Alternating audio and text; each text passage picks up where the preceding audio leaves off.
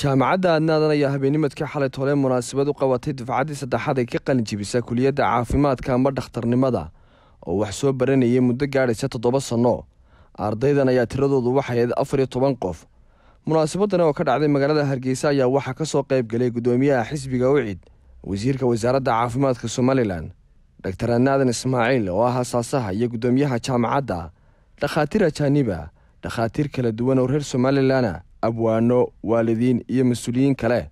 Ugu horreyntiiba halkaasi waxaa ka hadlay macallimiintii wax soo barayey iyo mas'uuliyiinta ugu sarraysa jaamacadda waxaana yidhaahdeen caawa waxaynu u dabaaldegaynaa afar iyo toban xul ah oo afar iyo tobankii laga soo xulay ardayda tirada badan leh. Waxaan leeyahay taa ogaada inaa kartidii iyo awooddii aad intaasoo dhan kaga soo gudubteen inaad leedihiin oo hadhow torena wax wey aad guusha inta hadha inaad aad ku sii wadi doontaan mihnadda caafimaadku runtii waa mihnad aada u muhiima oo bini u baahan yahay. Waktigaa dheer waxaa loo soo jirabayey imtixaankaa looga soo qaadayey in hadhow tore naf bini lagu aamino. Shalay arday bay ahaayeen maantana waa waa dhakhaatiir. Haddana anigu xanuunsado nafteeda aan ku aaminayo waan u tegayo. Dhakhtarnimada looma galo mushaharkeeda badan iyo looma galo maxay tahay aad aad caddaatido leedo waa dhakhtarad ama waa dhakhtar ha lagu yidhaahdo. Waxaas dhoo waxaa loo galaa qof jilicsan oo bini aadan oo ilaahay karaameeyey oo qiimo leh oo qiimihiisa hoos u dhacay xanuunkaas. Si aad uga saarneed halkiisa ugu cela. Waa intaa weeye. Waxay idin qiimeynaysaa bulshada. Imtixaan baa laydinka qaaday. Examination test. Bulshada idin qiimeynaysa ciyaar buu qaadanayna absankaa iska ilaalinaysa iminka waa arkayseen in qaar ka midii ay ab dib u dhaceen. Bayshankaaga dib uga dhicin bayshankaaga lacag iyo dhaqaale ha ku baadicin bayshankaaga ixtiraam u dhima isaga. Ilaali isaga. Usoo jeed. Usoo jeed. Ilaahay baad agtiisa wax wanaagsan kaga dooni doontaa. Ilaahay baad agtiisa ka heli doontaa marka annagu haddaanu nahay jaamacadda adda aadan waxaa noo sharafa in aydu magaca ilaalisaan adda aadan magaca dalka ilaalisaan oo magaciina ilaalisaan baa laga idinka doonaya waxaa maanta sharaf weyn noo ah inaanu halkan maanta xafladdan aanu ku sagootiyeyno afar iyo toban shan iyo toban arday oo tababar dheer soo maray? Oonu soo barbaarinay? Toddoba sannadood soo maray intixaamadii. Kuwan anigu ka qaadi jiray kuwa xukuumaddu ka qaado.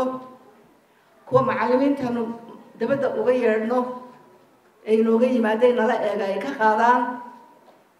Waxaa maanta laysugu markhaati furay mudane wasiir inay intaas oo somalilanders ah oo wiilal iyo gabdhaaba ay ciidankaaga ku soo biireen maanta waxaanu aada iyo aada ugu mahadnaqaynaa hormoodi diinkii associate diinkii associate iyo diinskii hore labaan arkaya hadda jooga cabdiraxmaan iyo mukhtaar way joogaan waxaan u mahadnaqayaa macallimiintii soo tababartay soo barbaarisay gacan ka soo haysay. Halkan qaar kalaan ku arkaa dhammaan waxaan idinku mahadnaqayaa waajibkaa weyn ee xilkaa weyn aad ka soo baxdeen. Intaasi kadib waxaa halkaasi ka hadlay mid ka mid a ardayda ka qalin jibinaysay jaamacadda oo ku hadlayay afka ardayda iyo sidoo kale waalidiin. Runtii waxaan halkan ka markhaati kacayaa in ay ka jirto kuliyadda qeybta caafimaadka cadaalad ardaydu u wada siman yihiin. Cid kasta ama dhiinka walaalaha ama dhiinka walaalaha runtii waxaa taalla kuliyadda cadaalad. Cadaaladuna bini aadamka waxaa ugu fiican ay ku qancaan markii hore waxaad haydeen magacyo lahaydeen cali faarax geedi magacyo lahaydeen laakiin maanta waxaad tihiin dhakhaatiir baad tihiin. Dhakhaatiirta somaliland baad tihiin. Dadka oo dhan baad u siman tihiin. Waxaa laydinka baahan yahay dadaalkaa faraha badan ee waalidku idin soo geliyey inaad halkii ka sii wadaan oo jaamacaddii adne ee aad ka baxdeenna aada magacu soo jiidaan oo aydaan ceebaynin dhakhaatiir caalamiya oo dalka dibaddiisa ka yimid kana soo qayb galay munaasabadani ayaa waxay bogaadiyeen ardayda iyagoo sidoo kale u hambaliyeeyey marwe aadan ismaaciil kaalintay ku jirto bulshada reer somalilan iyo sidoo kale ka caafimaad ahaan iyo waxbarasho ahaanba So I'd like to just congratulate you for getting to this stage and wish you all the best for the future on behalf of the external examiners.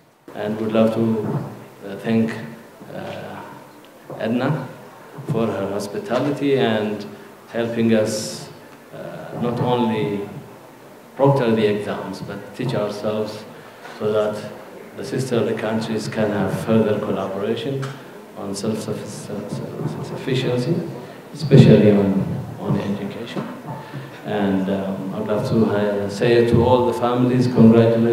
Intaasi kadib waxaa halkaasi hadalka iska daba qaatay mas'uuliyiintii iyo dhakhaatiirtii ka soo qayb galay munaasabadani. Waxaan leeyahay marka anigu idin wadici mayne waxaan idin leenahay welcome to the medical community ama bahda caafimaadka ku soo dhawaada. Dhakhtarka wanaagsani waa dhakhtarka deeqsiga. Ah muxuu deeqsi ku yahay wuxuu deeqsi ku yahay inuu bukaankaa u yimi ee aan awoodaynin lacagtii iyo kharashkii lagu daweyn lahaa. Hooyadaa dhibaataysan ilmahaa yaree agoonka ah garta in uu cilmigii iyo aqoontii uu soo baranayey. Inaanu u soo baran inuu ku shaqaystayo inuu lacag ku helee inuu u soo bartay inuu kan ku badbaadiyo. Maalinta dhibaxaday inan baa nagu jirtay. Intayadii oo dhan maantana de waa half and half. Hablaana waxaan leeyahay iska daa somaliland oo dabaddana raggii waa kaga adkaateen halkaa ka wada. Midna ku darso markii jaamacadda aad joogteen khaladaadka aad gashaan waxay niga saxayey dhakhaatiirtii markaa macallimiinta inigu ahaa iyo subrofesoradiinni khalad kastood gasheen waa la saxay laakiin imika ku darso khaladka aad gashaani naf buu galaafanaya qof buu dilaya. Dhakhaatiirta qalin jabisay shaqay ku yidhaahdeen annagu maanta waxaan shaqo gelinaynaa shaafici ahaan. Waxaanu shaqo gelinaynaa ardayga honarka ah shaafici ayaa shaqo gelinaya. Injineer faysal cali waraabe guddoomiyaha xisbiga u celiya wasiirka wasaaradda caafimaadka somalilan xasan gaafadhi ayaa gabagabada halkaasi ka hadlay waxaana yidhaahdeen aadina maanta ilaahay khayra siiye wixii ay qaban kari waayeen samayn kari waayeen baa musharigana lacagta badan leh ayay samaysay.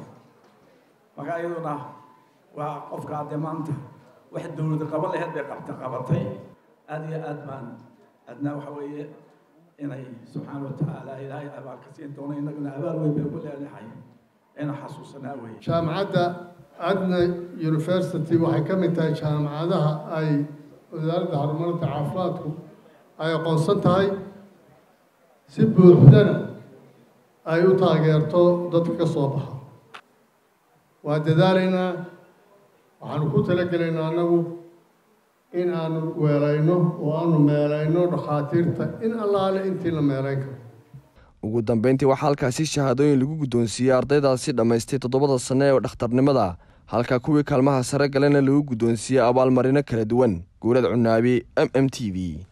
Abka dahabalaas oo lagugu sameeyey habkii ugu casrisanaa waxaad hadda hal meel ka wada heli kartaa dhammaan adeegyada dahabshiil gruub adigoo isticmaalaya ablikhethonka dahabalaas oo adeegyo dheeraada lagugu soo kordhiyey ku bixi ku iibso ku kaydso. Dahabalaas habka ugu casrisan ee aad ku maamulan karto lacagtaada